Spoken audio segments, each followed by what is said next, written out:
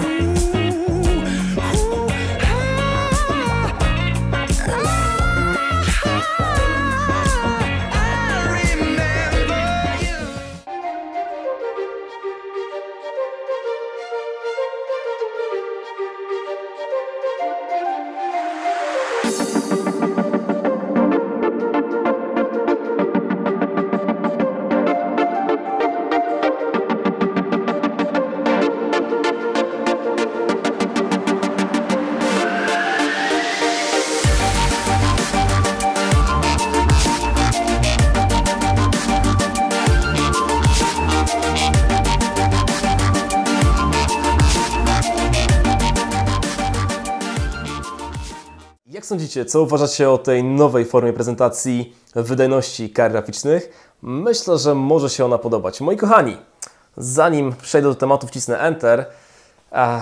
I teraz pytanie podstawowe. Która z konfiguracji jest wydajniejsza? Czy 2 GTX 970 spięte w SLI, czy może pojedyncza karta graficzna GTX 980 Ti? Te pytanie zadałem na początku i teraz czas na odpowiedź, ale myślę, że część z Was już ją zna. Konfiguracja GTX-ów 970 wielokrotnie okazuje się znacznie wydajniejsza od pojedynczej karty graficznej za 3000 zł, czyli modelu GTX 980 Ti. Skalowanie w wielu grach, które przedstawiałem, wypada naprawdę bardzo dobrze. Sam byłem nawet zdziwiony, jak to się ma w Wiedźminie, e, w AC Syndicate, w Rise of the Tomb Raider troszeczkę gorzej. I rzeczywiście wydajność stała na bardzo wysokim poziomie, niezależnie od rozdzielczości, zarówno Full HD, jak i w 1440p, a właśnie takie konfiguracje są przewidziane do tych rozdzielczości. Głównie do Full HD, bo takie monitory posiadają użytkownicy komputerów za kilka tysięcy złotych. Z tego co widzę po obserwacji, większość z Was ucieka się do wyższej ewentualnie rozdzielczości, ale przy zapewnieniu 144 Hz. E, A takie monitory już niestety sporo kosztują, e, co należy jednak uwzględnić przy zakupie całego komputera. No dobra, ale zostańmy przy tym temacie wydajności. E, Nieważny jest zakup monitora w tym momencie. Wydajność zdecydowanie wyższa, ba, nawet o 10-15%, a w tej samej cenie to jest jednak spora różnica. Ale jak to bywa, są pewne kruczki. No dobrze, skoro mamy fajną wydajność, no to jakie są minusy takiego rozwiązania? No bo w końcu mówimy tutaj o połączeniu dwóch kart w SLI.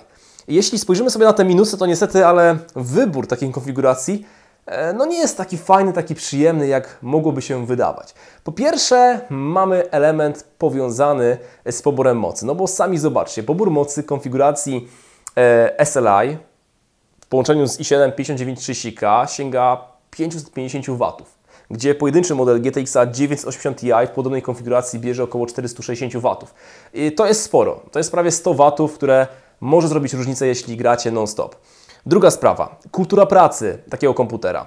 GTX 970 w SLI potrzebuje naprawdę dobrej obudowy do schłodzenia, a poza tym dobrego ułożenia portów PCI Express w płycie głównej. Widzieliście tę kanapkę, która wytworzyła się na benchtablu. To właśnie wynik e, blisko ulokowanych względem siebie portów PCI Express. Nie powinno tak być, a niestety płyta MSI nie przewiduje montażu e, konfiguracji two-way e, SLI e, w rozwiązaniu w trzecim slocie PCI Express, pomijając ten drugi slot. No i wtedy niestety, ale temperatura tego drugiego modelu naprawdę jest bardzo wysoka i wręcz niebezpieczna przy dłuższym czasie użytkowania takiej konfiguracji.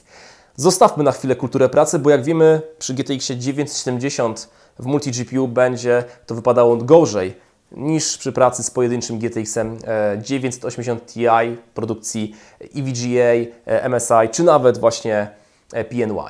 E, spójrzmy na jednak te wady wynikające z wydajności, z grania w trybie multi-GPU na DirectX 11. Stuttering, który niestety daje o sobie znać w Need for Speedzie, w Rise of the Tomb Raider. Ta wydajność, ta płynność obrazu nie jest taka jak na konfiguracjach pojedynczych na single GPU. Jednak to czuć, to czuć, kiedy osoba siada przed monitorem, gra dużo, zauważy, że rzeczywiście są problemy z samą wydajnością, płynnością obrazu. Na sam koniec pozostawiłem sobie dwie kwestie. 3,5 GB VRAM GTX 970, który niestety ale w DX11 się nie sumuje i profile SLI. Może zacznę od tej drugiej kwestii. Jak wiecie, mamy specjalne profile SLI wydawane w sterownikach, a także w paczkach, w patchach które mają wykorzystać pełen potencjał e, kart graficznych w konfiguracjach multi-GPU. Jak się okazuje, na takie paczki nieraz trzeba czekać miesiąc, dwa, a nieraz w ogóle można się ich nie doczekać. Co niestety no, ma bardzo duży wpływ na klarowanie się wydajności w rozwiązaniach dwóch kart graficznych 2 SLI e, czy Freeway SLI. Jest to problematyczne. E, nie zawsze taka paczka wychodzi, nie zawsze ona ukazuje się zaraz po premierze, często kilka dni po lub nawet kilka tygodni należy na nią czekać w sterownikach czy to w paczach od producenta. E, przypadek chyba Syndicate lub nawet Rise of the Tomb Raider. A nieraz właśnie trzeba posłużyć się specjalnymi metodami kombinacji w sterownikach, jakich e, dopuściłem się w przypadku Rise of the Tomb Raider. Co nie zawsze będzie miłe dla użytkownika, e, fajne, ponieważ zabiera to czas i trzeba niestety, ale troszeczkę pogmerać. Druga sprawa, 3,5 GB VRAM. No jak wiemy, sprawa dość oczywista, znana. Nvidia wtedy dopuściła się kłamstwa, skłamała w żywe oczy, że tak się wyrażę, ale czy 3,5 GB VRAM jest problemem w DX11 dla tych kart graficznych? Powiem tak i nie, bo jeżeli osoba gra na ultra, jeżeli w maksymalny sposób katuje e, te karty graficzne, to rzeczywiście może zapchać w jakimś momencie pamięć. Ale jeśli idzie w kierunku detali ultra, ale bez specjalnych e, metod wygładzenia krawędzi typu MSAA, no to nie musi się bać o ten zapchany VRAM. E, także z jednej strony rzeczywiście jest on problemem dla kart graficznych, takich dwóch kart graficznych, a z drugiej strony jeżeli osoba będzie gdzieś kombinowała troszeczkę znowu, e, manewrowała tym VRAMem, ustawieniami, no to nie powinna tutaj mieć problemu z maksymalnym zapełnieniem się szyny. To tyle w temacie. Moi kochani, Długie podsumowanie, ale myślę, że zahaczyłem o każdą wadę trybu SLI. Z mojej strony wygląda to tak. Jeżeli szedłem w maksymalną wydajność, wybrałbym ten duet. Jeżeli nie chciałbym kombinować, za bardzo bawić się w ustawienia, no to jednak skusiłbym się na pojedynczy model GTX 980 Ti. Sam nie jestem zwolennikiem konfiguracji SLI, natomiast ta jak najbardziej fajnie działała i byłem z niej zadowolony. Dzięki, do zobaczenia w następnym materiale Morele TV.